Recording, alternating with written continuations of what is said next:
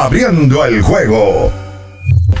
Recuerden que con el nuevo English Muffin de Wendy's ya no se dice buen día, se dice buen día. Elige tener un buen día con el nuevo English Muffin de Wendy's, una irresistible combinación de salchicha, bacon o jamón, servido en un suave y esponjoso muffin inglés con mantequilla salada, huevo y queso americano. Ya lo saben, la mejor manera de iniciar tu día y tener un buen día es con Wendy's, diferente por dentro y por fuera. Recuerden los números telefónicos 809 563 0937 y 809-221-2116. Tenemos llamadas, buenas. Buenos días y bendiciones para ustedes. Amén, igual para ti. Habla Nelson Manano de Mano Guayabo, escogidita y bostoniano. Adelante, hermano. Ustedes me permiten dos comentarios, por favor. Claro. Miren, señores, no es porque yo sea de Mano Guayabo, pero eso que dijo Pedro de sentimiento que quería jugar con los Yankees, eso no hay que darle tanta cabida, eso no es nada. Eso, para esa es mi opinión. Y la segunda opinión es otro tema, que yo creo que el dueño de San Diego se va a cansar y va a desbaratar ese equipo otra vez, porque en primer lugar ellos contaron, pensaron en Manny Machado. La proyección que se proyectó de Manny Machado era 313, 35 y 118. Manny Machado no, no se ha cargado el equipo al hombro no es Tati. Fue en base a Machado que San Diego construyó ese equipo.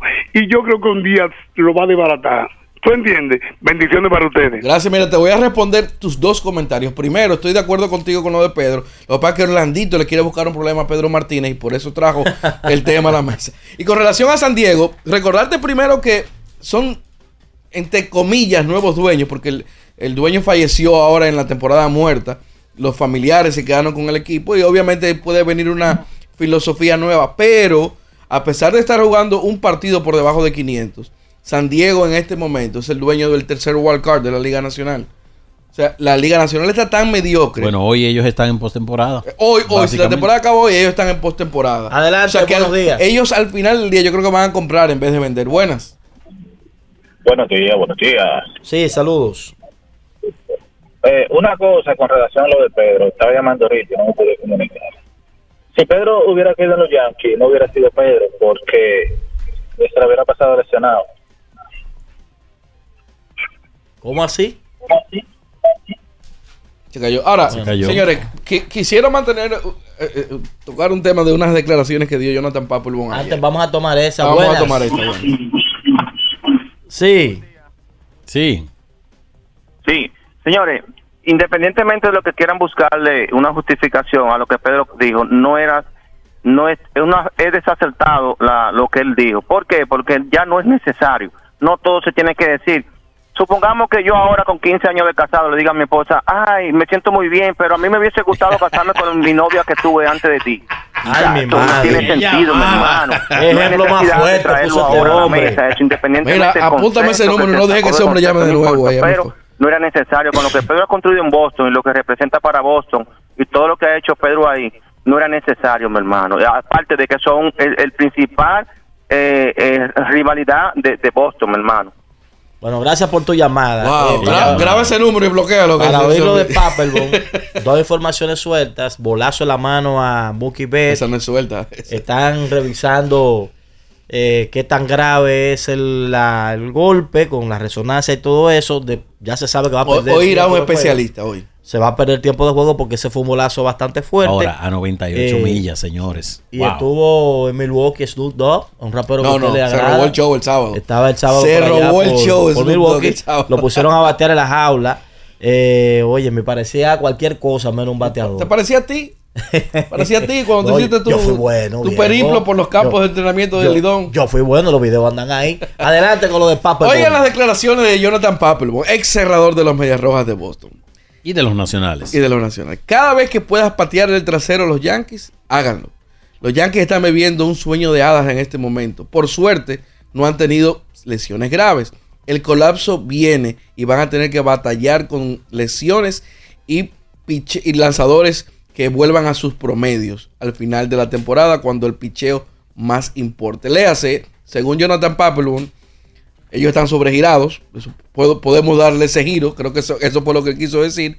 Y ayer, todavía no tenemos detalles de lo que va, pudiera pasar.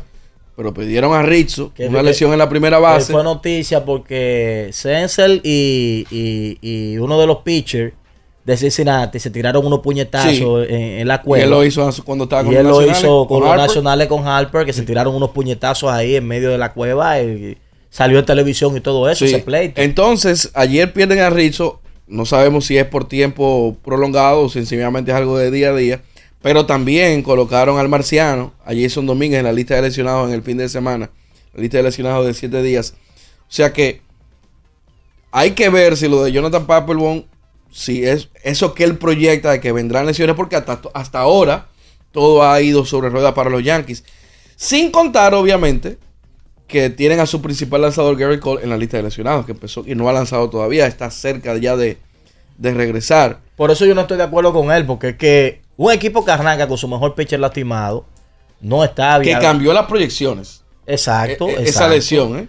Exacto, porque, ok, vino la bendición de Luis Hill, que tiene un mérito grandísimo, porque él se puso los zapatos de Gary Cole en la ausencia de Gary Cole. Él ha estado en el nivel de Gary Cole en la ausencia de Gary Cole. No estoy diciendo que él es comparándolo con, con ese lanzador ni nada por el estilo, sino que el rendimiento que le pudo dar el principal pitcher a los Yankees lo ha dado el dominicano, que era algo que nadie esperaba, con nadie contaba con su astucia. Es que yo no creo correcto utilizar el término sobregirado para el equipo de los Yankees. ¿Qué cosa? Ese- eso se lo puse yo. Sí, pero básicamente eso fue es lo que él quiso quiere decir. Ese- exacto, lo que él dice. básicamente Eso es lo que él quiere decir, porque es que estamos hablando de que aquí hemos hecho críticas sobre posiciones neurálgicas que los Yankees necesitan corregir de manera urgente, que son las esquinas del infield.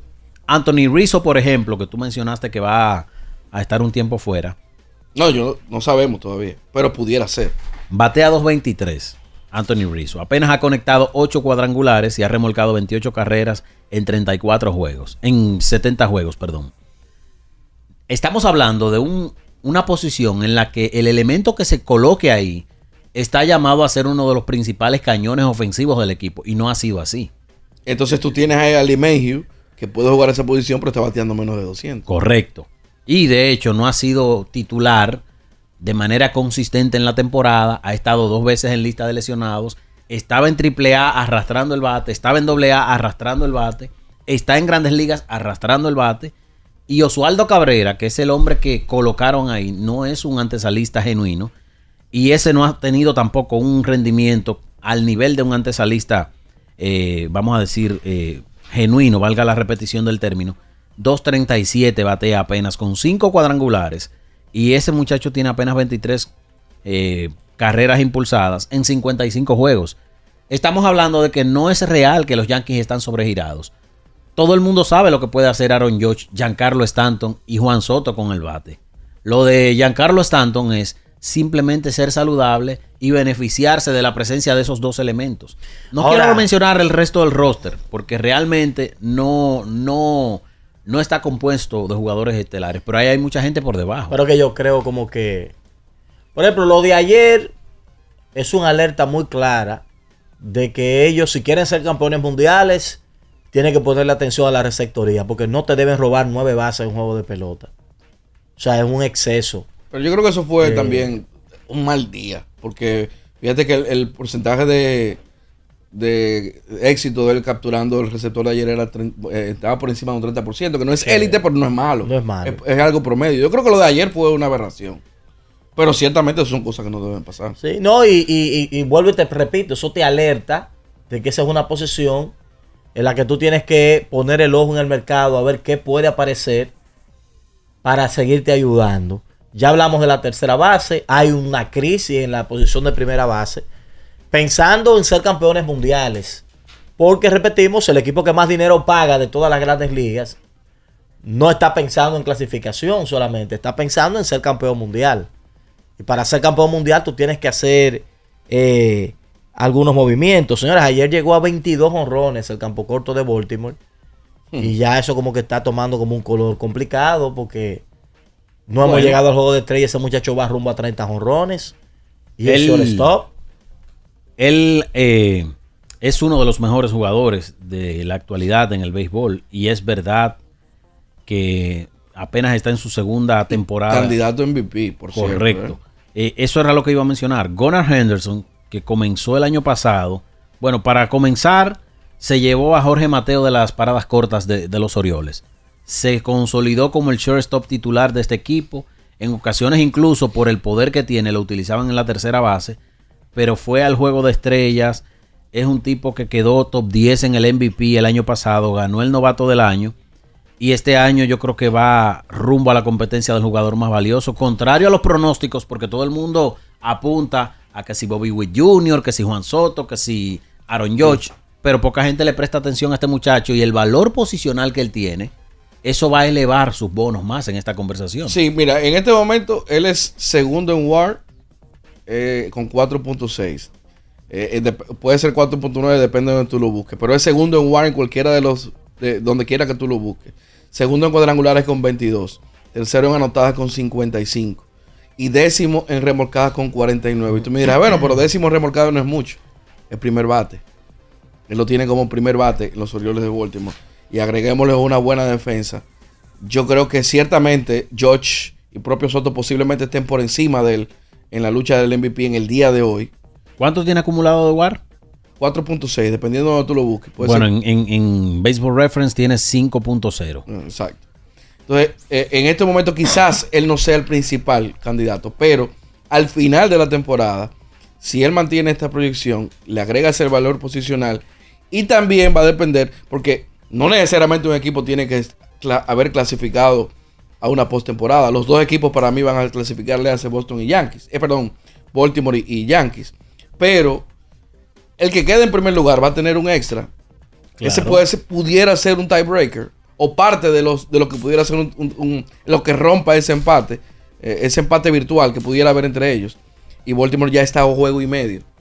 Bueno, e- el tema con Gunnar Henderson es que él no tiene la ayuda que tienen los dos elementos de los Yankees, porque Juan Soto tiene al mejor bateador del béisbol a su lado y Aaron Josh tiene al mejor bateador del béisbol de su lado. Exacto. O sea, eh, en, ese, en ese punto, Gunnar Henderson, lo que él representa para la ofensiva de, de- de Baltimore, es mucho mayor eh, que lo que podría representar uno de estos dos eh, jugadores. Y usted va a decir, ¿tú me estás diciendo que es mejor pelotero o que es mejor jugador? No, es que él está solo en la ayuda de la ofensiva eh, en relación a los otros dos. No es que los otros jugadores de Baltimore no hacen aporte, sino que no están a los niveles de George y de Juan Soto, que sí están en el mismo equipo. Bueno, vamos a hacer el cambio. Al regreso nos vamos con las primeras efemérides del día y nos metemos de lleno en baloncesto porque tenemos un cortecito que traje de la red social ex del buen amigo Ernesto Krawinkel.